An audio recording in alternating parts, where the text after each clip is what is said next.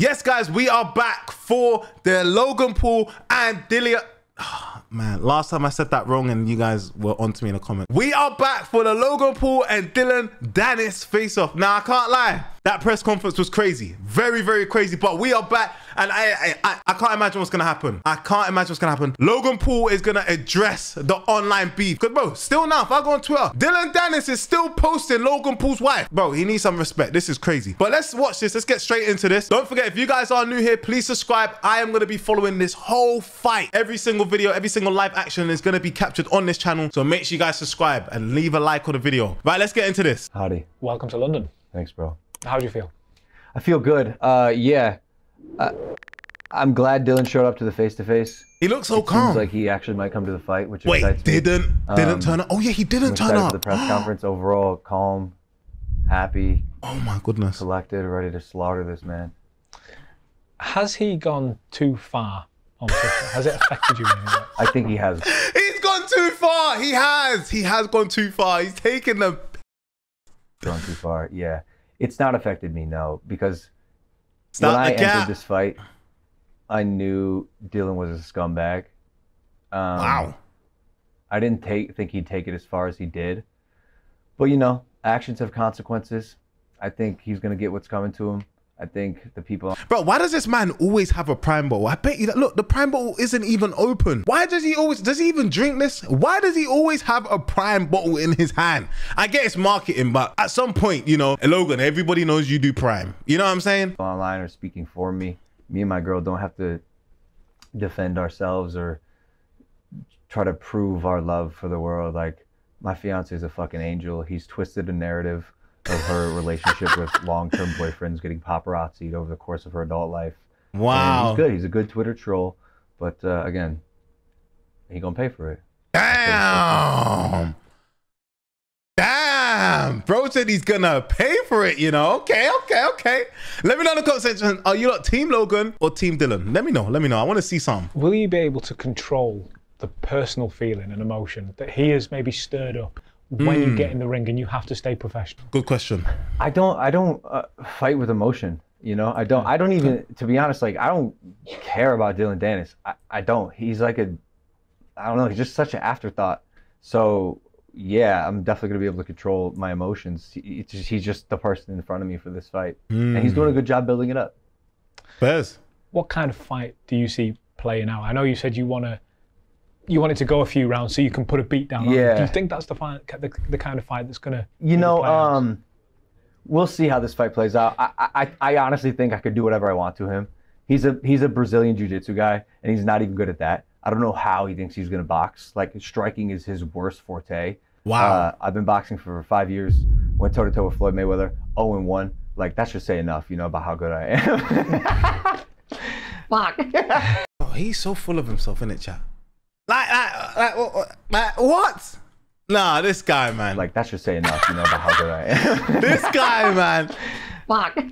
Oh, he's drinking the prime. Go on, drink it. Let's talk about. I, I, I want to speak about your Cheers! boxing. Oh, the In bottle is particular, open. You mentioned the That was a half sip, though. Obviously, the, before that, I'm the onto him. high-profile KSI fights. yeah. Who was a tougher fighter, KSI or Floyd Mayweather? Ooh, who's Hmm. tougher, KSI or Floyd Mayweather? Honestly, KSI. KSI. Was it a to fight? Yeah, yeah, Wow. it was. He he's just a dog. Like he he has this tenacity and this intensity that I've never seen. Like when you're in the ring with him, he wants to kill you. It- It's it's the only mm. thing he cares about. He can't lose. He made a documentary called Can't Lose, and I think he really, really mm. believes that in his heart, and so he tries as hard as he can. I think Floyd Mayweather knew he wasn't going to lose.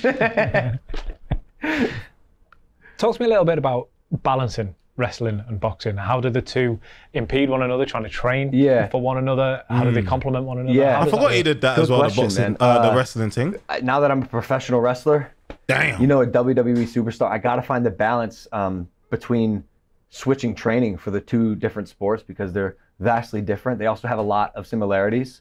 Uh, my promo game has improved because of the WWE. I embrace being a heel, but uh, typically I train boxing. To be honest, I don't. I don't. I don't train wrestling that much, which is again why I, I'm. I'm. I'm. I admire Dillon's confidence because I've been Ah. training boxing for the past two years. I just haven't had a fight. right? But I've been doing it. I've been doing the sparring. I've gotten so much better. I have the confidence of beat or going with the greatest boxer of all time, and that changes a person. And I think Dillon's in for a fucking surprise that night. Yo, I think that's what you say. Damn, that wrestling okay. was mentally more taxing Yeah. than boxing.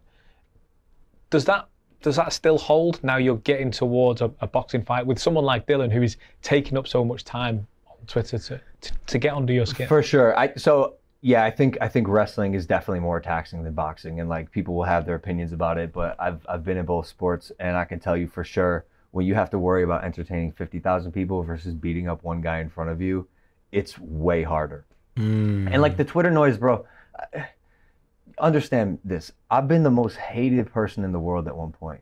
Mm. Like really, maybe more than one point. Yeah.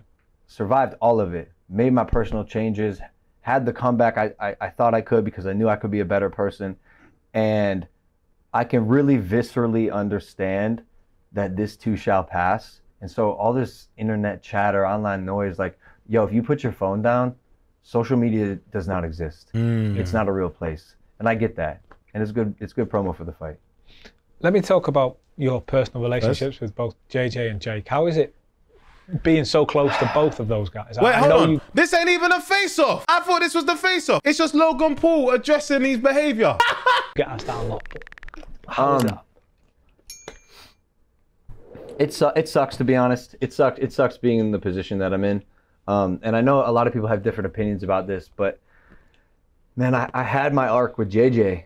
You know, I had my arc, and by the time we were doing Prime and um, he had beaten me, like him and Jake's beef hadn't gotten to the uh, violent place it is now.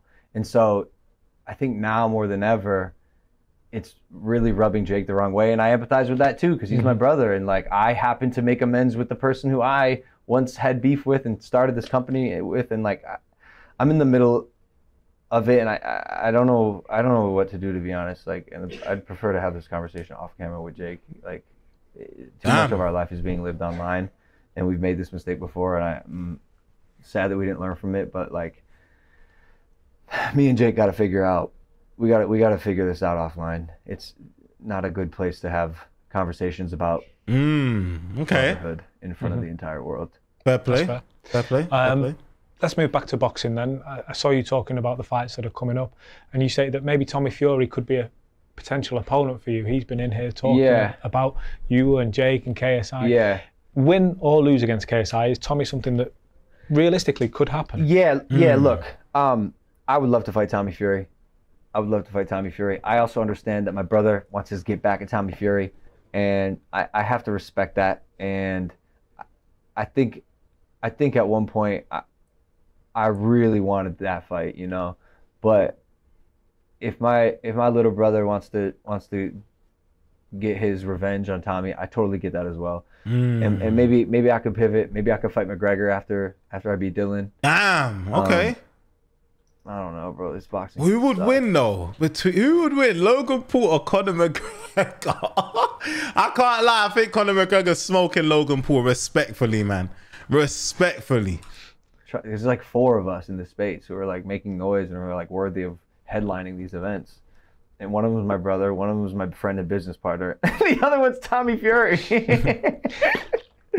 It's it's funny you mentioned Conor. We we saw Conor the other night, and I asked the same question to him, and he said, "quote I'd slap the nose off his face when we were speaking to Logan Paul." What would your reaction to that be? I'd like to see him attempt to slap the nose off my face. Conor McGregor's a average MMA fighter and a horrible boxer. I'm gonna beat the shit out of his bitch Dillon, and then I'm gonna beat the shit out of him. But he ghosts me, bro. He won't even bet a million on his fighter. That's chump change for a guy like Conor. He won't even bet a million dollars on Dillon. He had nothing to say when I called him out on Twitter. So you think he's gonna step in there himself? I don't know. Feels unlikely. But I swear he just said this like it's not even a social media thing, but I hear it though. I hear what he's saying though. Final question then rounds off nicely when we come back to Dillon Danis. Give me your prediction for what happens on fight night. Mm. prediction for Dillon Danis, whatever the fuck I want. If I wake up that day, I want to make him go three rounds, I'll make him go three rounds. If I wake up that day, I want to go four rounds, I'll go four rounds. If I want to take him out with body shots, if I want to break his ribs, if I want to break his nose, if I want to piece him up one by one, rearrange his face, delicately, surgically. I'm gonna do that. I'm gonna do whatever the fuck I want to Dillon Danis, October 14th. Prime card, baby. Oh my days. Drink Prime. Damn. He It's a great loves it. promo. You've certainly been working on that. October 14th. Yeah. We cannot wait. Logan Paul, Thank thank, you, you, very much. Nah. Love's great when we make up, and your friends trying to break us. No, I don't do breaks, no, no. I love you right, I will. I love you right, I will. I love you like.